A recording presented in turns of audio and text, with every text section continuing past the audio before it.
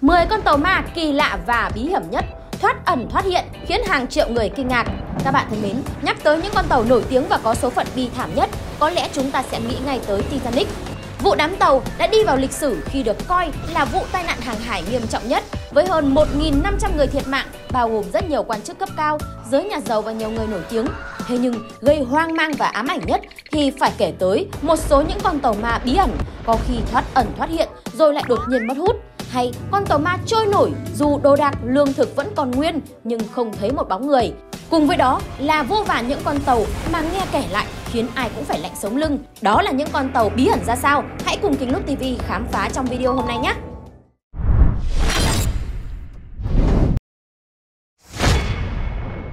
Con tàu Lady Lovibon và chuyện tình ngang trái Lady Lovibond là một con tàu ma bị đồn thổi cứ 50 năm sẽ xuất hiện một lần. Con tàu này gặp thảm kịch kinh hoàng vào năm 1748.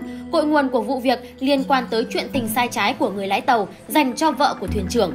Theo đó, Lady Lovibond là tên được đặt cho con tàu huyền thoại bị đắm trên hòn đảo Goodwin Sands, ngoài khơi bờ biển Kent ở đông nam nước Anh vào ngày 13 tháng 2 năm 1748.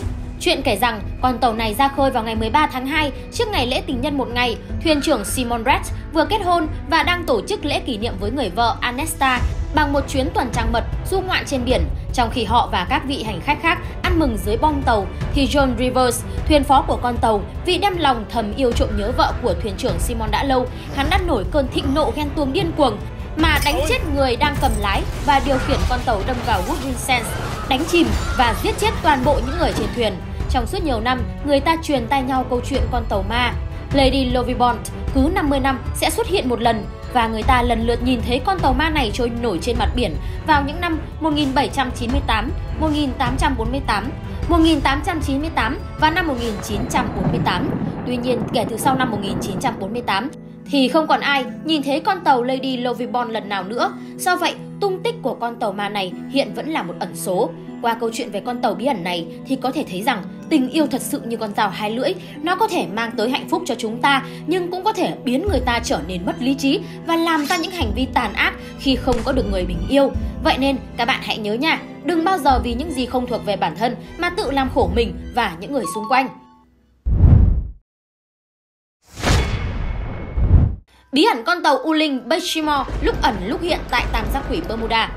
Các bạn thân mến, nói tới khu vực tam giác quỷ Bermuda là một nơi mà hàng trăm năm qua đã xảy ra những câu chuyện vô cùng kỳ lạ. Có rất nhiều tàu thuyền, máy bay, thậm chí là khinh khí cầu đều mất tích một cách bí ẩn khi đi qua khu vực này. Và có một điều càng kỳ dị hơn là sau nhiều năm, thậm chí nhiều thế kỷ, thì những chiếc máy bay hay tàu thuyền lại đột nhiên xuất hiện trở lại tại cùng một vị trí. Cùng với đó là vô vàn những hiện tượng siêu thường và khó lý giải. Điển hình như câu chuyện về con tàu ma Bechimor được một người tu luyện có sở hữu công năng đặc dị đã dùng thần thông của mình nhìn được và chia sẻ lại những gì mà ông ta đã thấy. Vào tháng 9 năm 1931, tàu đánh cá của Canada có hiệu Bechimor mang theo gia thú trị giá hàng trăm vạn. Trên đường hàng hải mười mấy ngày, sắp đến Alaska thì gặp phải cơn bão tuyết, thuyền bị mặt băng giữ lại không cử động được. Con thuyền này trong vòng một tuần lễ đã bị biến mất tới hai lần. Sau này, 15 năm sau thì tàu hiệu Baltimore đột nhiên xuất hiện. Nó giống như một con tàu u ám bồng bềnh trên biển. Nhưng mấy mươi năm gần đây thì không còn ai nhìn thấy con tàu này, rốt cuộc đã xảy ra chuyện gì. Theo người tu luyện kia kể lại rằng, con tàu này trong năm 1944 đã chìm vào đáy biển Bắc Băng Dương, thân tàu đến nay y như cũ không hề hư hại. Chiếc tàu này bồng bềnh trên biển bao nhiêu năm nay kỳ thực là do một bầy vong linh âm thầm điều khiển. Bầy vong linh này từng là thuyền viên trong một chiếc tàu tìm kiếm báu vật của Tây Ban Nha.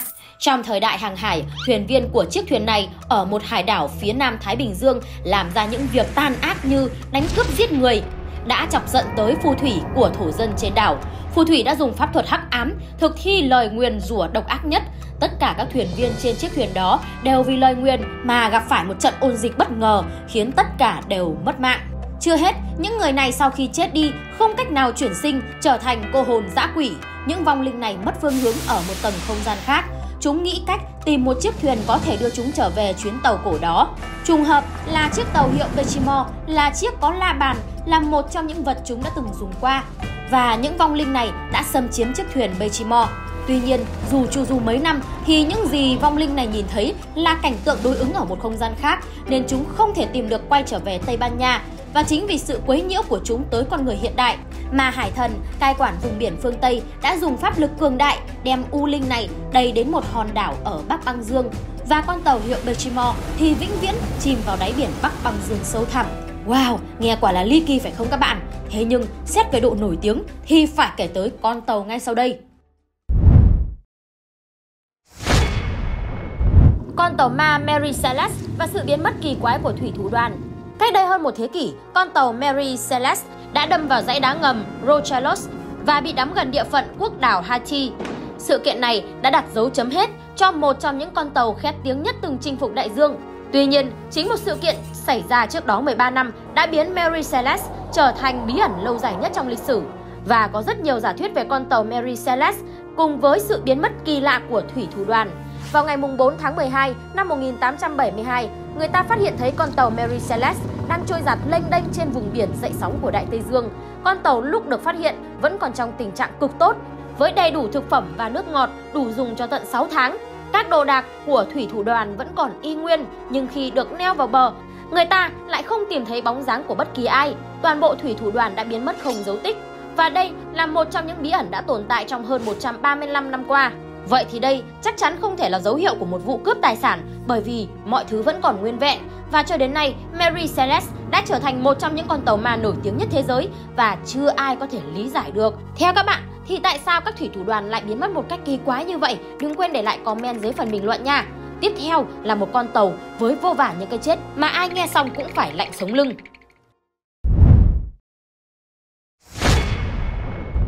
Tàu ma SS Aurang Medan sự kiện toàn bộ thủy thủ trên con tàu thương mại Urang Medana hay còn có tên là VSS Aurang Medan chết một cách bí ẩn cách đây 73 năm được đánh giá là bi kịch bí ẩn nhất trong lịch sử hàng hải thế giới.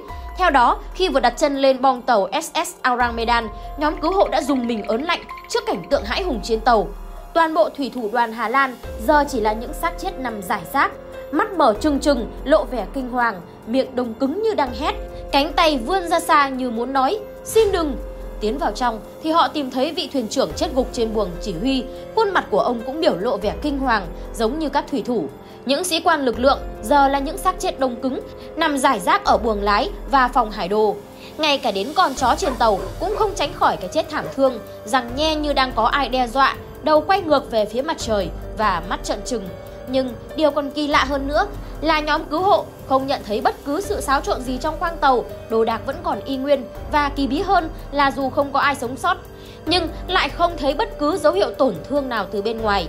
Sau khi chứng kiến thảm kịch khiếp đảm trên tàu, nhóm cứu hộ của tàu Silver Stars đã quyết định kéo tàu Arangmedan về cảng, nhưng chưa kịp kéo tàu vào bờ thì họ phát hiện thấy những đám khói dày đặc bốc lên từ hầm bên dưới bong tàu và khiến công việc cứu hộ bị ngắt quãng. Chưa kịp xem xét gì thêm thì đột nhiên đám cháy bùng phát dữ dội, buộc thủy thủ tàu Silver Stars phải cắt đứt dây và rút lui. Sau đó chiếc SS Aurang Medan nổ tung, bốc cháy rồi chìm rất nhanh. Vụ nổ mạnh đến nỗi con tàu bị nhấc lên khỏi mặt biển, mang theo bí ẩn về những số phận bi thảm chôn vùi dưới đáy đại dương.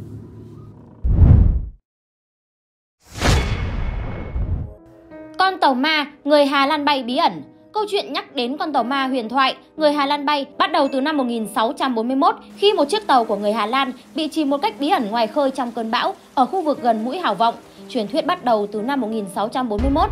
Vốn là tàu của Vương quốc Hà Lan do thuyền trưởng Van der Decken chỉ huy, con tàu đang trên đường trở về từ vùng Viễn Đông sau một chuyến đi chở đầy áp hàng hóa. Khi đi ngang qua mũi Hảo Vọng thuộc Nam Phi, do mải mê suy nghĩ về một số việc, Thuyền trưởng đã không để ý mây đen kéo đến đầy trời và con tàu đang lao thẳng về phía tâm một cơn hung bão. Bất chấp sự sợ hãi, khuyên can của thủy thủ đoàn, thậm chí cả sự nổi loạn của một số thủy thủ, thuyền trưởng Van der Decken vẫn một mực cương quyết ra lệnh cho con tàu tiến thẳng vào cơn bão. Chẳng biết là do ông ta đã hóa điên hay đã bị cơn say rượu làm hỏng đi lý trí.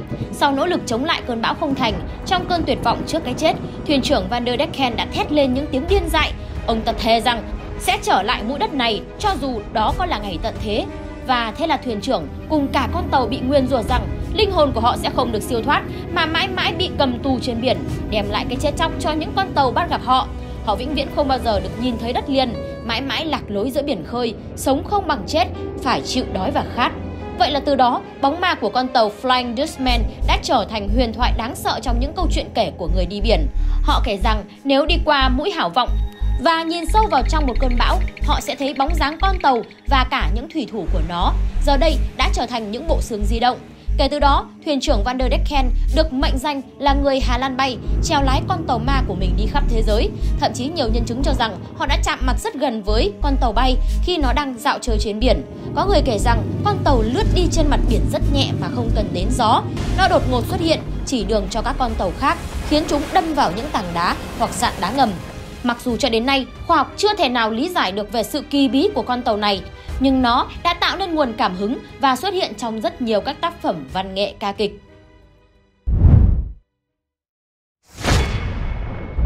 Octavius, con tàu ma được lái bởi đoàn thủy thủ đã chết con tàu Octavius rời Trung Quốc vào năm 1762, hướng đến Bắc Cực và trở thành một huyền thoại vào năm 1975. Con tàu được lái bởi một thủy thủ đoàn đã chết và bị đóng băng 13 năm như một con tàu ma. Vào ngày 11 tháng 10 năm 1775, một con tàu săn cá voi mang tên The Herald tình cờ phát hiện Octavius trôi giặt vô định ngoài khơi bờ biển Greenland đoàn thủy thủ đã đi dọc theo con tàu vô chủ. Sau khi lên tàu kiểm tra, đã phát hiện toàn bộ thủy thủ của đoàn tàu Octavius bị đóng băng trên dưới bong tàu, như thể đang cố gắng thoát khỏi cái lạnh.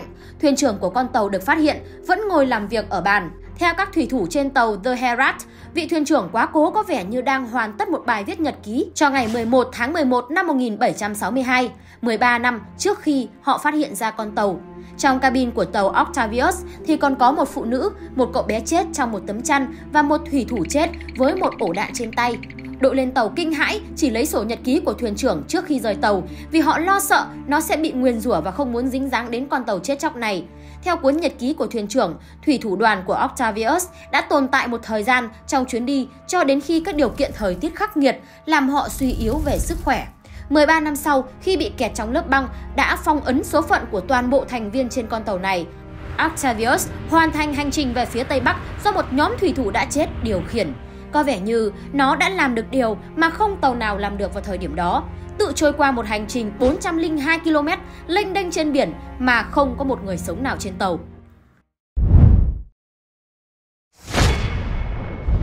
Carol Adering biến mất tại nghĩa địa của Đại Tây Dương các bạn thân mến, bí ẩn về con tàu Caron Adering tạo thành một trong những bí ẩn lớn nhất của lịch sử hàng hải. Con tàu với 5 cột buồm sau khi vận chuyển than trở về từ Rio de Janeiro, Brazil vào năm 1921 đã biến mất. Một điều kỳ lạ đã xảy ra trên đường trở về Virginia, phía đông Hoa Kỳ. Cảnh sát biển Brady của trạm bảo vệ bờ biển Cap Hatteras đã nhìn thấy một người trên tàu đang căng buồm, nhưng thời tiết xấu dẫn đến con tàu bị mắc kẹt khiến cảnh sát không thể lên tàu để kiểm tra.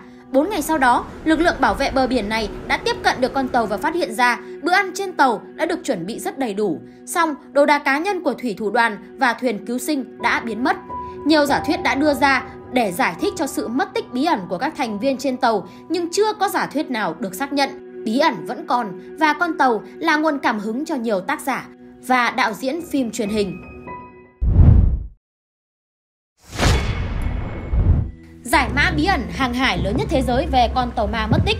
Một con tàu ma khác, HMS Terror, cũng được phát hiện ở hành lang phía tây bắc băng dương. Nó chở theo hơn 120 người rồi mất tích cùng với con tàu chị em của nó, HMS Erebus. Sau này, các nhà thám hiểm đã khám phá ra một sự thật. Khi đi vào vùng biển băng giá, nước biển đóng băng xung quanh tàu HMS Terror Thủy thủ đoàn đã bỏ tàu Tero sang tàu giải cứu HMS Erebus, hy vọng đi về phía nam để đến nơi an toàn. Nhưng những khẩu phần ăn ít ỏi không đủ để duy trì sự sống cho mọi người. Tàu ma Erebus tiếp tục lạc giữa hàng nghìn km biển băng giá. Tất cả thủy thủ đoàn, 120 người đều chết trên con tàu HMS Erebus. Các nhóm tìm kiếm sau này chỉ tìm thấy những bộ xương và nhật ký ghi lại thảm cảnh trên tàu.